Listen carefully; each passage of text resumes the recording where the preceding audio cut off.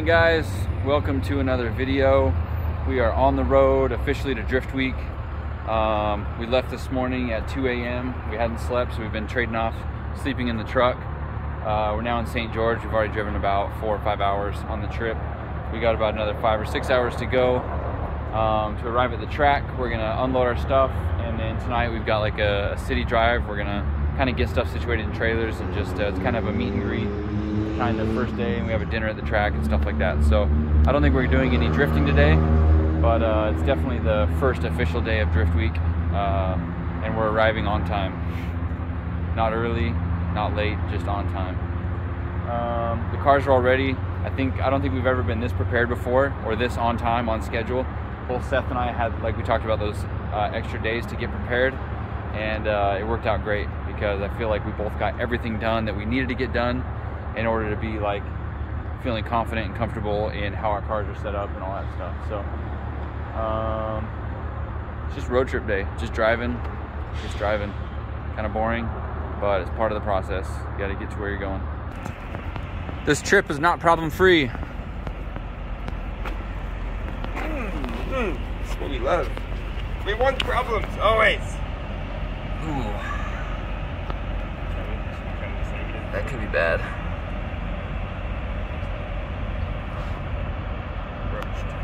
So, uh, Seth saw some smoke, thought it might be a tire, pulled over, and it's definitely a bad wheel bearing. But, uh, yeah. Luckily, we're somewhat close to Vegas. Vegas is that way, like 20 miles. So we're gonna tear it apart and see what we can, uh, see what, what we can find for parts.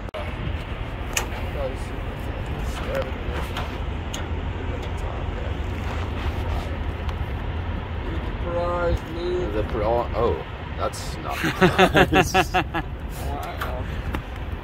Sorry about. Sorry about whoever's tool that is. Oof. Yeah, she real one. touch that, it's hot. It is hot. Yeah. Now you're talking, man. Yeah. On today's episode of We Did Not Win Quiz. One problems. They're nice. Shoot one down. That's bad news. That's what's up. How else do you want me to do it? Oh, my bad. Are we on the railroad? Down the railroad. Oh, Whoa, that was a spark. Sparky Sparky. Sparky, Sparky. This is how you start forest fires In a parking lot. in the desert. yeah.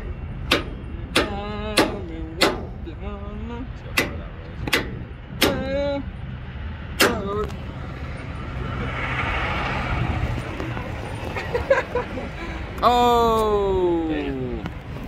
Sorry. Back to the action. Uh, let's try and hit it down. Just to see if we can get it to break free. You know what I mean? Mm. Problems. Problems. Always.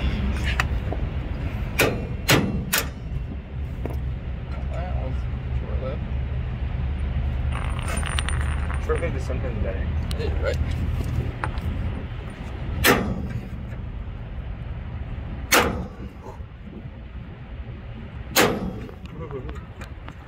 Trying to do it hard and fast. Whoa! Oh!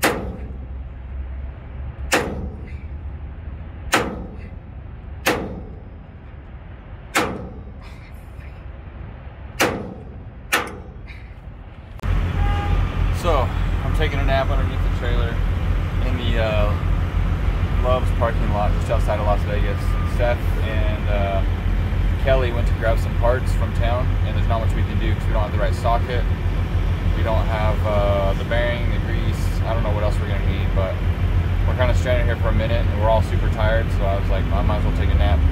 This is the best spot. I got my blankets. I'm all set up. So I'm just chilling, just chilling, just waiting.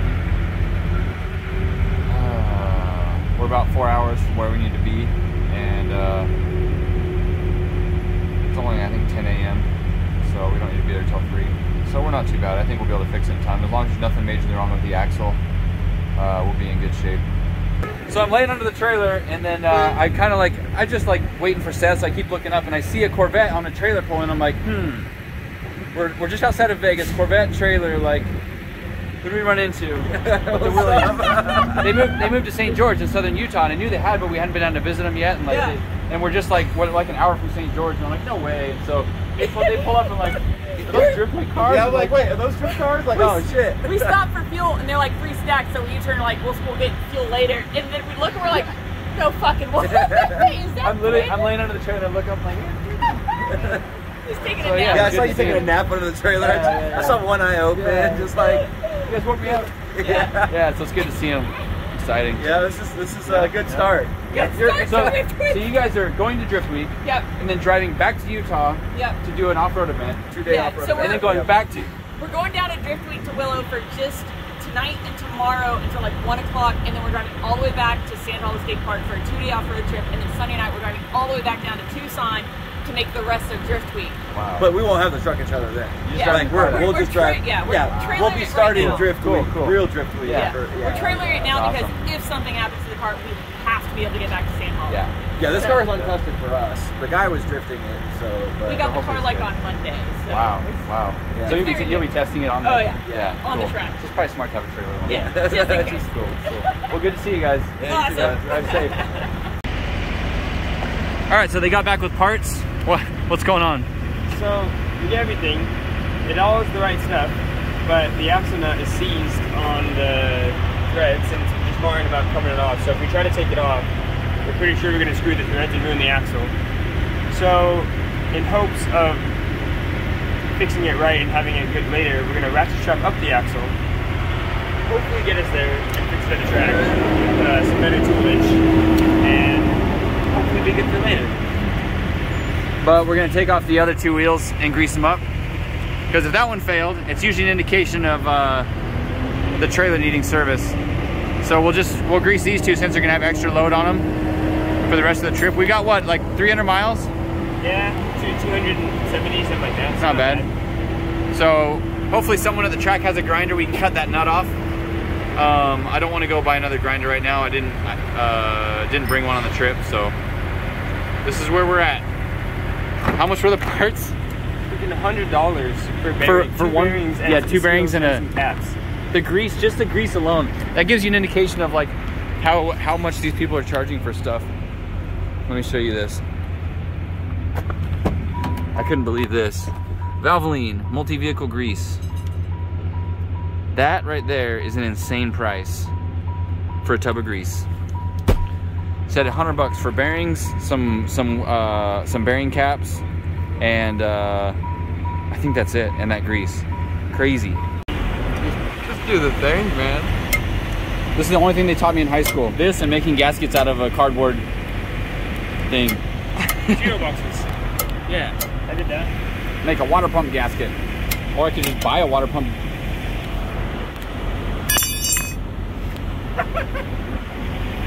That's like the worst thing ever. You got greased. When I greased the bearing, Nice. Not my face anyway. Very nice. You got lots of rags. Great. That's exactly what I needed. Just rags. Anyways, I learned how to do this in high school, and now I'm doing it on the side of the road 20 years later. No, rags. You've done this many times on the side of the road. Yeah, but I learned how to do it in high school. But you never did it in your shop when you were supposed to do it. Yeah, Dakota did it last. Yeah, I know. you did them on here, right? Yeah. Surprised they didn't be like nice good. It's pretty cool. Look at that grease coming through there. Your shop used to tell you that?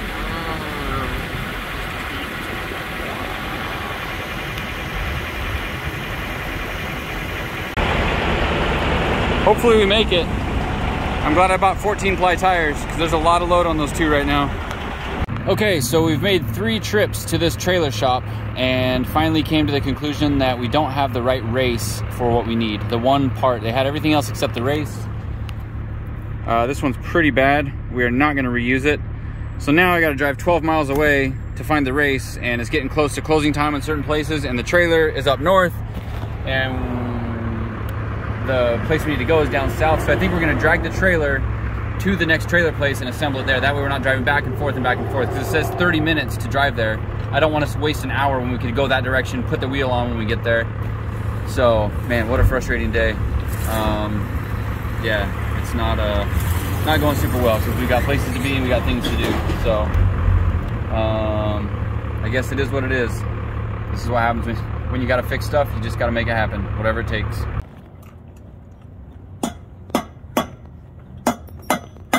Finally, we found the right part. This thing is stuck in there. Don't get it stuck in there. Off the hip. We can't double race it. Uh, a shop called Trailer Tech in Las Vegas, right next to the library, actually. And next to the stadium, actually. Anyways, um, finally, after running all around town, we had to get a new race for that one. The other place didn't have it. So now we can grease it up, put it on, and uh, hopefully get on the road. Now that we, we, I swear we've been in Vegas for like, I don't know, hours and hours and hours. Way too long for the simple amount of work it should have been. Huge shout out to Twisted Motion for opening their shop, letting us use their tools and stuff that we needed that we didn't have. It absolutely would not have been possible without an angle grinder. Like, it wasn't gonna happen. Um, you can see the hub here. Pretty rough. We're gonna have a hard enough time getting that nut to stay on with the few threads that are there. But like, this was really rough. We had to grind that down because it was uh, raised up. Ooh, even so, it's still kind of rough. I hope it fits on there. Um, but yeah, I think it'll be fine. This is how my Dodge truck was when I fixed it. And uh, it's been working fine. I had to grind down the hub like that, and, but my threads weren't jacked. I really hope those threads work. That's gonna be the one thing that might hold us back. We talked about threading it on and then tack welding it, but um, we don't have a weld welder access anymore. So hopefully this at least gets us to California where we have access to stuff that we may or may not need.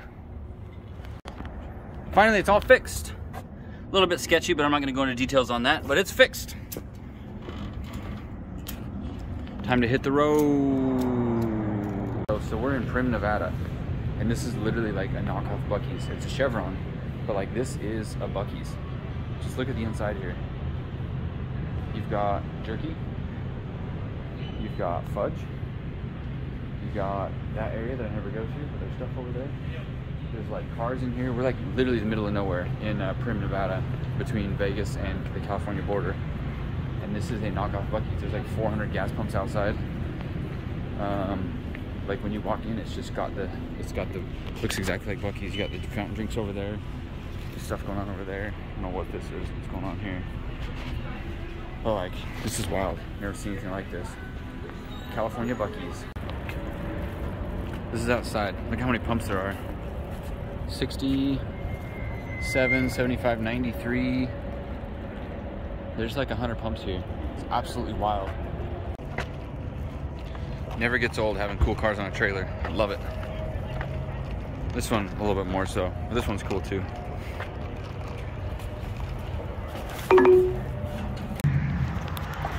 We made it to California. We are uh, we're going to Don Gus. This is a Mexican restaurant we went to when we were filming the, uh, the Icon commercial. And Dan wanted to come here, so we're meeting up with Dan. I'm excited to see him. I haven't seen him in forever. So uh, and we're all starving. We've been in the truck all day nonstop with problems. So we're all ready to eat. We made it to California. You already know that. We're about to do some trailer maneuvers. I don't know if you can even see me. It's kind of dark. All right. What's up, Scotty? Scotty the man. MF Brock Heelys. He's the best. All right. Let's see if we can back it in. Crank it. Ooh, that car looks great. Shredded. Literally. Watch him over there, guys. Yeah. Hold on. You're good, man. You you yell what I say. oh yeah, look at this.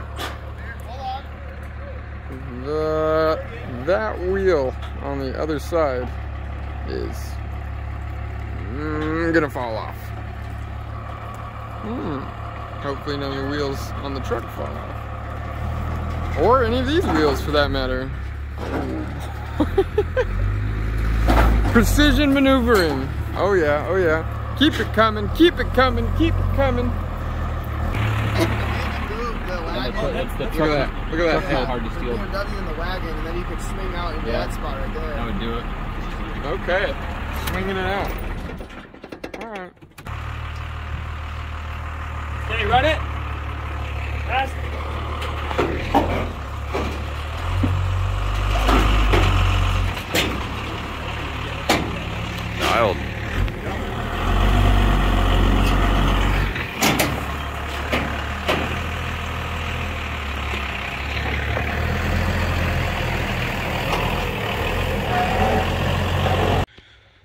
So we backed this trailer down the street. You can see the marks of the curb. We had it over here and we were able to get it in this spot here on the side of the house. But we had to back it through this tree and the tree caught like Seth's mirror and it probably scratched my wrap and stuff. But we have all the stuff we weren't able to unload it at the track and I didn't want to park like down around the corner because there's no street parking for a 50 foot vehicle. So we were able to put it on the side of this house. So I'm pretty stoked on that. Um, definitely smelled like clutch. In fact, I can still smell it. It's been like an hour since we backed it in. I can still smell clutch. So ugh. it was a new South Bend clutch when I first did that swap. So I hope it's all right. So here's our first Airbnb. Oh hey, Airbnb group. Sai. That's all. I don't want to talk to you yet. I can't. I can't even handle you. What a group of guys. This guy's from the other side of the country. Did you drive here? Yep. Hello, Brandon. It's this guy. I haven't seen this guy And for a your while. audience. Hi, Dan. Hey. I say hi. Hey, Brandon said Say hi. hi. Hey. Brandon, Dial. how many, It's Mark. how many shirts you sell? I don't make them anymore because I'm so traumatized from Dan harassing me nonstop. It's just once. Yeah. One, once per shirt you sold. Yeah. One. Not one. Those shirts are gonna be collector's items. Yeah. Especially once you become the judge of clutch pickers. I Upgrade. Like three judges? No, it's just BWix. just. I vote BWix for 2022. oh man.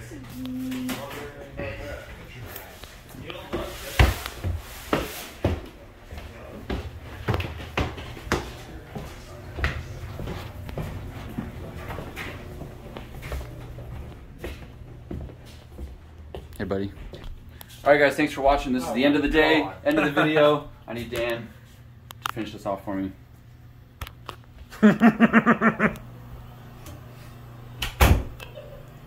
I'm just kidding. Brandon's awesome. If you're uh, not subscribed to the to the BWix, definitely should be. He's one of my favorite people on this planet, and he should be yours too. So, like, share, sub. Are we really doing this right now? No, we don't have to. I'm, I'm like still contemplating. That's where you sleep. That's where I sleep. And that's where the line is where we don't touch each other. Sometimes my leg just kind of ah, crosses this way I better not. It does sometimes.